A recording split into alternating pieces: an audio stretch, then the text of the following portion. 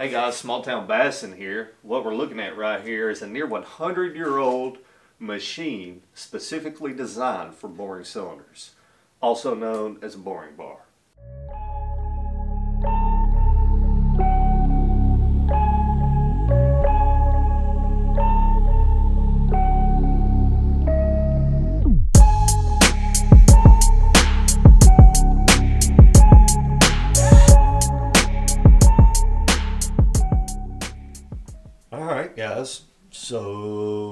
This is what a near 100 year old machine for boring cylinders looks like. This machine was made by Rottler Manufacturing. Um, this is actually one of their first, um, it's one of their first production machines. This is a CA2 bar. Um, if any of you know the history of Rottler, please post it in the comments or specifically the history of the CA2s um, because I can't find much online. Even even talking to Rottler um, there, um, there's only a couple of guys that are still there and living um, that have anything to do with these old old tools. Uh, so I'm missing a lot of history on it, but what I do know is it was patented back in the 1930s.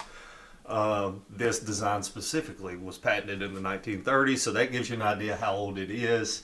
Um, you see, there's no manual controls to you know pull the bar up like a Van Norman or uh, or one of the other more popular production machines.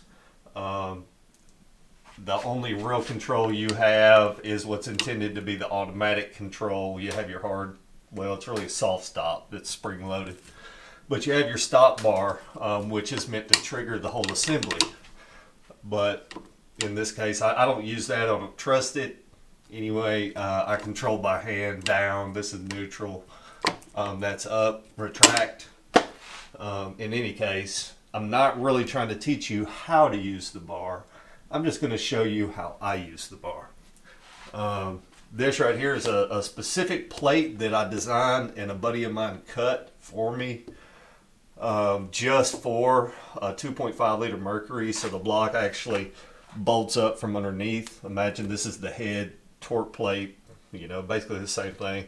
So you bolt the block up to this plate, and then you have a true parallel surface to the deck um, to float your boring bar on, which slides on a T-nut across the T-slot. So it can, it can really be maneuvered anywhere on the plate, any angle um, to meet any hole that's inside this four inch cut. Now, uh, pros and cons. So number one con, when I got it, the second hole I cut, the original micarta gear, it bit the dust. Um, so what happened is mistakenly I let the bar go just a bit too far, um, scraped the bottom of the uh, of the cylinder, the aluminum casting, which where the rod slot is. So it just dug a little too deep, um, which this gear is sacrificial. Every other part of this machine is made of steel. There, this is the only composite part on the whole machine.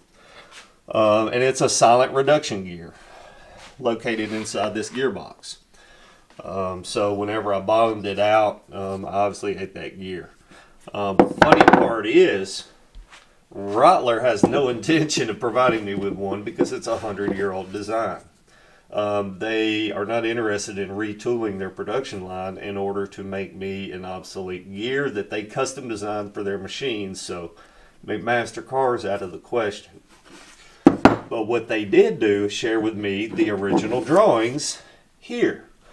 Thank you, Rottler. Um, so what I did with these drawings is I reached out. I reached out all over the dark web looking for someone who could cut me a gear. And the quotes I got were ridiculous. They were more than the machine itself. Um, for the home shop, nope, can't happen. Um, so after beating my head against the wall and talking to 100,000 people looking for ideas, uh, a machinist fabricator that does work for the company I work for said, hey man, you own a 3D printer, don't you? I said, yeah. He said, 3D print one. He said, think about it. Back then, when they designed a micarta gear to go in this machine, they didn't have all the materials available you have today at their fingertips. You do in a 3D printer. I said, man, that's probably the best thing I've heard. You're right. I'm going to 3D print it. And I'm going to 3D print the gear in any material I can find, all materials I can find. Every material I own at least. So I did so. And I printed the first gear. Oh man, it's weak. It's super weak. Um, none of these are as weak as the gear that's in the machine at this moment. None of them are as weak. Um, it is. It was just a trial. I printed it out of uh, PETG. I wasn't going to use PLA as a first run. I thought, eh, no, I better go with PETG. It's more oil resistant, I think. Um, so I went with because that is an oil-filled gearbox. Um, and I have bored two, three, I've bored three blocks with it on that one trial run PETG gear. Um, and it's worked flawlessly until the other day I bottomed it out again. Um, and yeah, it ate the gear. So what we're going to do is we're going to tear it down on camera. Uh, we're going to pull it out, check the condition of it. I've been dying to see the condition of it. And we're going to bypass PETG again, PLA. We're not even going there. PLA. Uh, what we have here is composites. We've got uh, carbon fiber nylon. So it's got chopped carbon fiber. Um, this was the original gear I designed, which isn't solid. I mean, what you see, that outer ring, focus. The outer ring is the only solid part. The inside is mostly infill. Um, if you can see the pattern of that keyway in there, that's how thick the wall is. I mean, it's thick. So is the uh, the outer ring. It's I mean, it's thick, but uh, the whole gear isn't solid. Uh, just so you know. Um, but that's uh, nylon carbon fiber. This is the other gear I designed just to use less material and give it some more rigidity, adding uh, adding more circles. Um, really does make it stronger, um, honestly. And you get that extra thick wall in every one of them. So we have that. And then we have nylon glass. So this is nylon fiberglass, and this has super long fiberglass strands in it. These fibers are, I mean, it's basically dust. I don't know how they call it carbon fiber. It's more like carbon dust. This actually has fibers, and they are long. Some of them were up to like half an inch long. It was nuts. I'm surprised I was able to even print the stuff. Uh, but this one, I, I marked on it what the parameters were. So it's 2.4 millimeter thick walls. 30% infill. That one is 1.4, no, that's 2.4 millimeter walls, 50% infill. This is also 2. no, it's not. Uh, this one's 100%, so really the walls don't matter as much. But I think it's also 2.4, printed at 0.14 millimeter layer height at 260 Celsius. This is a solid one. I'm skipping all of these. I'm not going to do any more testing. We got six holes cut, a trial, PETG, weakest of them all. I mean, the, the parameters just, it was a trial just to test the shape. Uh, but anyway, I reverse engineered Rottler's drawing and uh, put it in Fusion and uh, then my printer and spit one out of my own modified design. Um, Let's go for it. This is the best material I'm capable of printing at the highest parameter settings, which is 100%. I mean, you just can't do more than that. Uh, the teeth on the gear are only going to be as strong as they are. I mean, it, it is what it is. So you can't, I don't think you, with this material you can do any better. It's not going to fail because of my parameters. It's going to fail because of the material. That's just plain. Um, so we're going to go ahead and put this guy in. Red meow.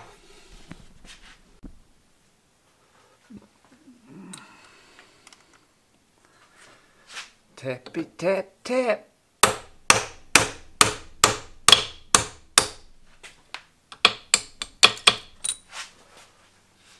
Mm-hmm.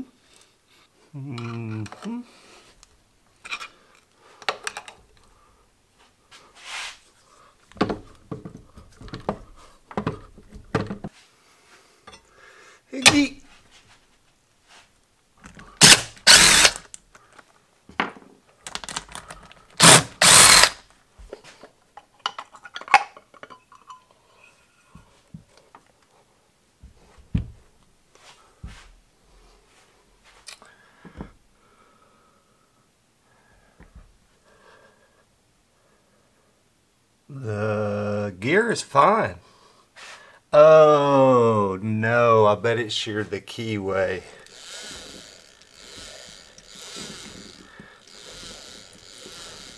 Look at that PETG gear doing its thing. Beautiful. Wow.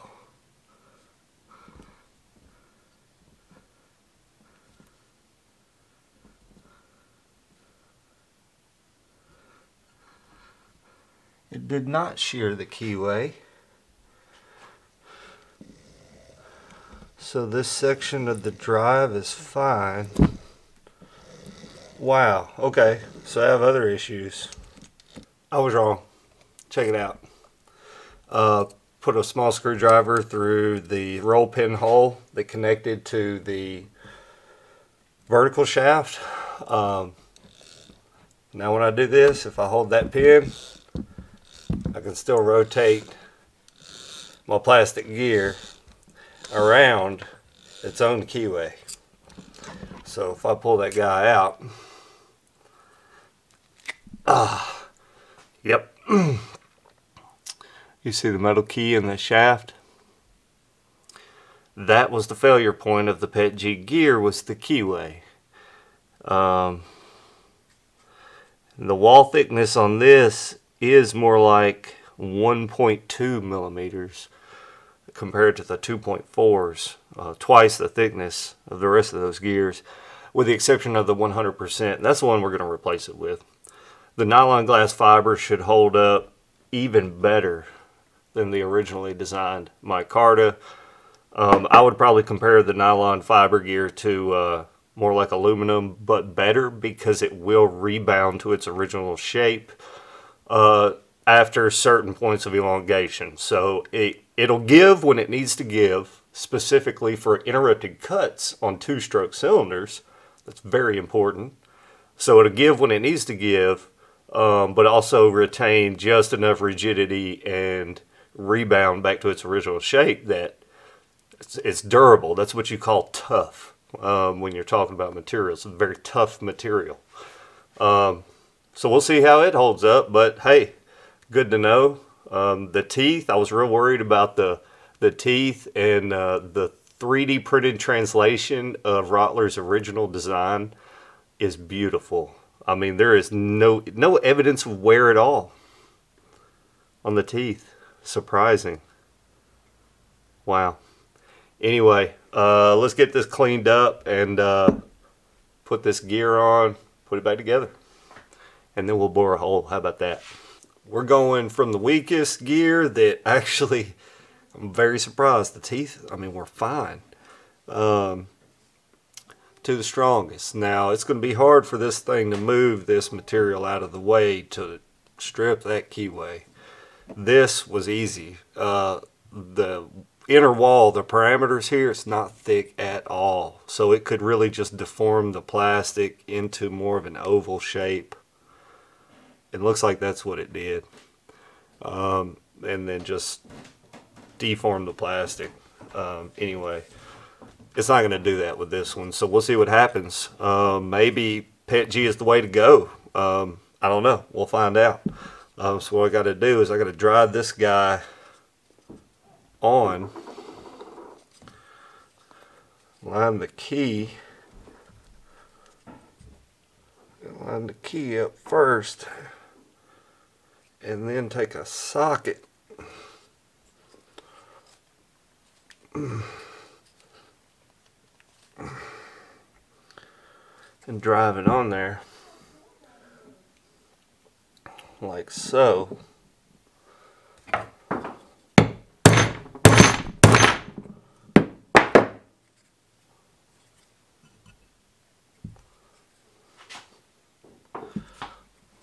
Back here and get a more solid solid footing on it anyway.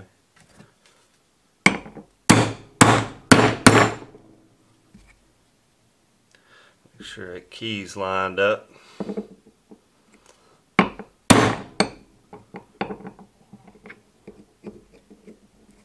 Come on now. It's hard to hold. Oh yeah, see going on there now.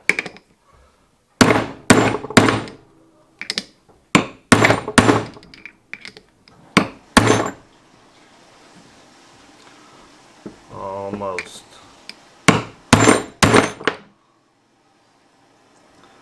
Oh yeah, that's the ticket right there. She's fully seated on the key. See if you can find there's a little piece of material in the way. Um, it kind of cut in as it went. Um, beautiful.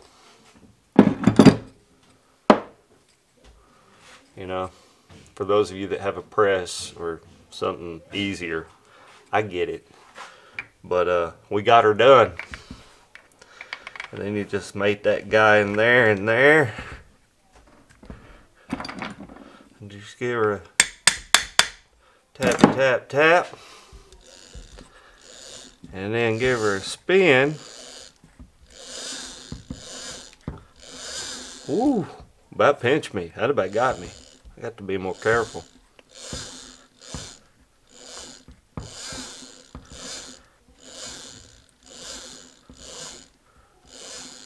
That's the deal. Needs to wear in a little bit. But that mesh is beautiful.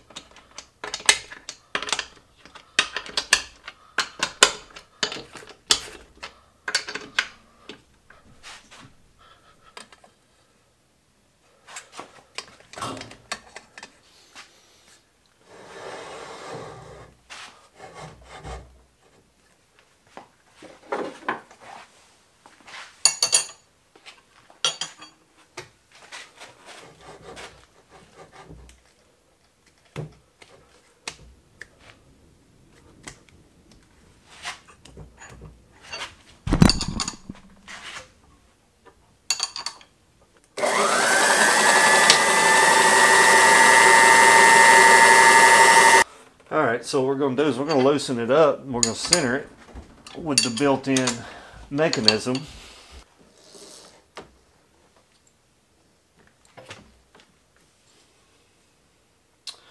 Now I will use the accompanying tool to lock my cutter in place.